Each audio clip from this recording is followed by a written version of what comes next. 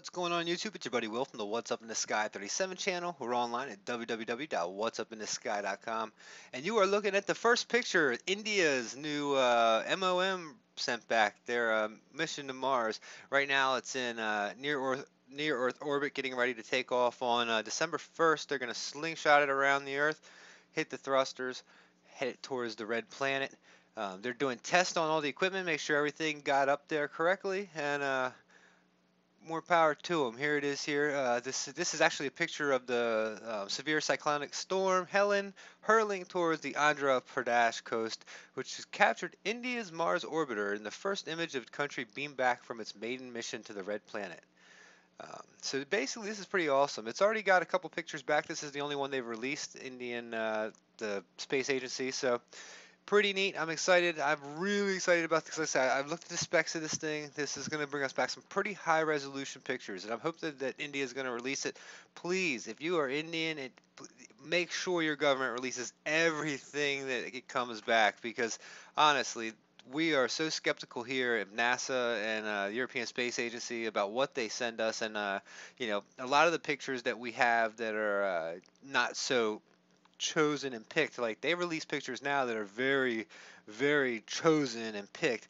I mean, they're uh, definitely not, you know, just random pictures like they used to come home. Like they, uh, Mars, we had our, our Mars uh, mission a while ago that, that brought back, you know, MOC, which brought back thousands and thousands of pictures that we can go through. And we find tons of anomalies in there. But it's we're pretty hard pressed to go through the HiRISE ones and find it. They're really good at keeping it out. So hopefully you guys are going to be taking care of us that way. We're excited. Hopefully you'll make it around December 1st. Congratulations. At least you know your stuff's working. Um, this I found interesting. Uh, seems like this guy, uh, there's a billionaire uh, who wants to be one of the first private man Mars mission. Here's the details of it. This is on space.com. You can check this out for yourself. Um, a non-profit space exploration group revealed exactly how it plans to launch two married astronauts on an ambitious manned flight mission to the red planet by early 2012 or 2018. 2018, that's pretty amazing. Um, of course, this is not going to happen because they want to use NASA's stuff. So that would also involve NASA and federal funding, along with a healthy dose of pioneering spirit. It's not going to happen. Um, the Inspiration Mars project, which is led by multimillionaire Dennis Tito, was the world's first space tourist. hopes to partner with NASA using much of the space agency's equipment, expertise, as well as infusion of federal money to get off the launch pad in early January 2018. Perhaps several hundred million dollars in new federal spending can make this mission happen. Inspiration Mars officials wrote in a report released Wednesday that outlines the mission's proposed architecture. We now call on our nation's leaders to seize this singular opportunity to begin human exploration of the solar system and affirm America's leadership throughout the world. They're not going to hand over their stuff. NASA's not going to hand over their stuff to this guy. I just don't see it happening. I'm not sure what NASA's actually said about this yet, but I'm sure they're looking down on it. I would love to see something like this happen. It's it's it's it's pretty neat what they're going to do here, what they're proposing. So, the proposed mission for America will launch a married couple towards the red planet sometime between December 25th 2017 and January 5th, 2018. I don't know why I can't say 2018. What is that with me this morning?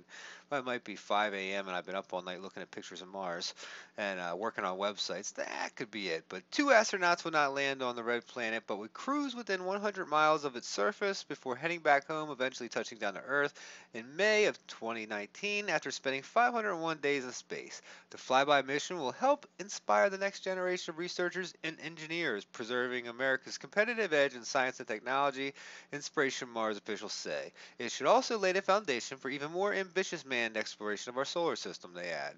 There'll be a lot of science return and technology return. Taber MacCallum, uh, Inspiration Mars chief technological officer, told reports reporters at Tuesday's teleconference. We will think and sort of the break sound barrier for going to Mars and back, enabling a range of missions to occur in the future. The current mission plan, as outlined in the report, calls for using the NASA, the NASA Space Launch System, Mega Rocket SLS, which is in development, with the first flight slated for late 2017. So they they want to use a rocket that's slated for 2017. Right there, we really think we're going to have that thing taken care of, but th- that just already sounds wrong. Um, sounds way too ambitious. The flyby mission would require two launches in quick succession. The first liftoff, an SLS would loft four payloads to Earth orbit, an SLS upper stage rocket, a 600 cubic foot habitat module derived from Orbital Sciences uh, I don't know how, how to say this right here. This is their the name. I'll just do this. OSC's cargo vessel, a service module that would support the habitat module with power, propulsion, and the communication system, and the Earth reentry pod, which would be based on NASA's Orion capsule. The second launch, the one using a commercial rocket, would be delivered the two astronauts to orbit yet to aboard the yet to be selected private spaceship. The crew members would then transform the habitat module and the SLS uh, upper stage will propel them onto Mars. All right. The married couple would spend virtually the entire mission in the habitat module, transferring the reentry pod in the last few hours of the mission. Inspiration Mars officials acknowledge that the making of this will happen will be challenging. The reentry pod, for example, will have to protect the astronauts from the blazing heat generated when it slams into the Earth's atmosphere at about 32,000 miles an hour but it can be done, and the current plan, which emphasizes the use of technology already proven or dependent whenever possible, gives the mission the best chance of success. Inspiration Mars officials say, We submit this report with unreserved faith in men and women of NASA, and with a single-minded commitment to surmounting every obstacle, and with the complete confidence the mission can be done, they write in the report. So, what do you guys think about this? I know it's a little bit long here. I'm struggling through it. It's a little early, but this is uh, this thing's pretty neat here. This is what the artist uh, concept of it is here. Um, I'm gonna leave the links below for that one, and uh, just to say, I, I Maven went up perfect. I thought it did. It was a great launch. They're saying nothing's wrong with it. We're on our way to Mars. Um, everything should be ready to rock. So it's uh, going to be helping the Curiosity rover. If everything is, it's also going to be helping the uh, talk to the Opportunity rover. Hopefully everything's okay. The uh, we haven't heard any news from NASA on the Curiosity rover. What's going on with it? Hopefully we'll find out in the next couple days what this soft short's going to be about. Um, or if it's a hard short, soft short, uh, whatever whatever it is. It seems very fishy that they get once they start heading towards uh, Mount Sharp. They they just left the one area, and uh, now they're heading towards Mount Sharp, where we really want to go because the people who do the anomaly videos like I do, we see Mount Sharp at the bottom piece over there as like the you know the place to go. I mean, it looks like there's structures there. It looks like there's pyramids there. It looks like there's bridges there. It looks like there's a path that winds up the mountain, and we're gonna they're they're going to have to take us there because that's where we want to go. Now, I don't know if they're going to go there or not. I don't even know if we're ever going to get this thing back online. For all we know is it could go a couple more miles. You know, they say it could work as it is, uh, but who knows? It go a couple more miles and bomb out on us. And uh, just like if you watch my next video, I'm going to do another Spirit Rover picture.